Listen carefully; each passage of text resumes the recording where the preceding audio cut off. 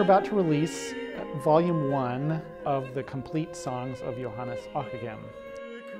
Ockeghem was the Bach of the 15th century. He is perhaps the greatest composer before Bach. There are some other obvious candidates, but he's like Bach in the sense that he has uh, a very distinctive melodic sense. He's a contrapuntal genius, a kind of wizard who can do any sort of combinatorial thing with, with uh, musical material. He is able to generate a kind of uh, emotional effect, which is also, I, I find extraordinary. His music is so moving as well as being intellectually uh, stimulating and, and rich.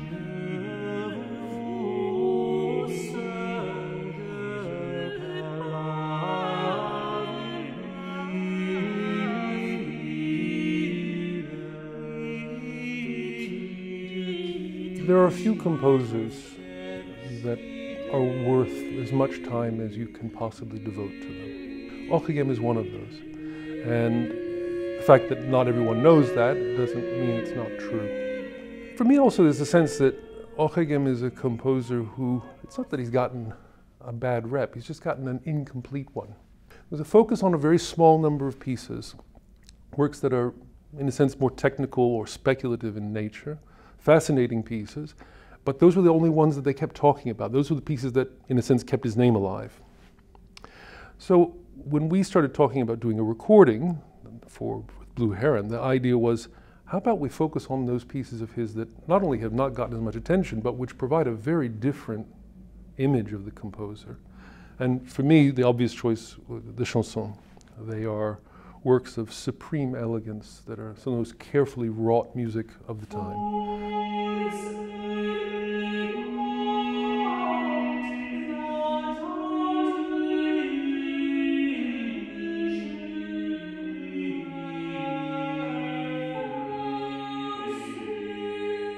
it's an opportunity to hear music that has rarely been recorded, in some cases never recorded, and I venture to say never done this well.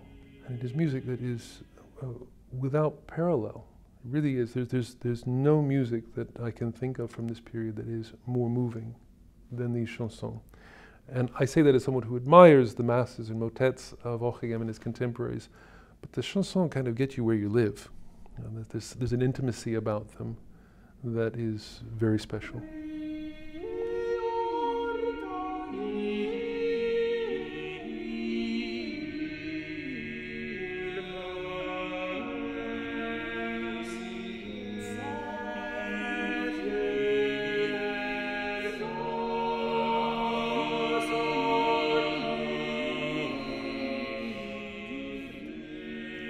There is outstanding music written at every moment of human history. And Ockeghem is one of our peaks. And it doesn't matter if you can pronounce his name or speak French or have ever heard a piece of 15th century music before.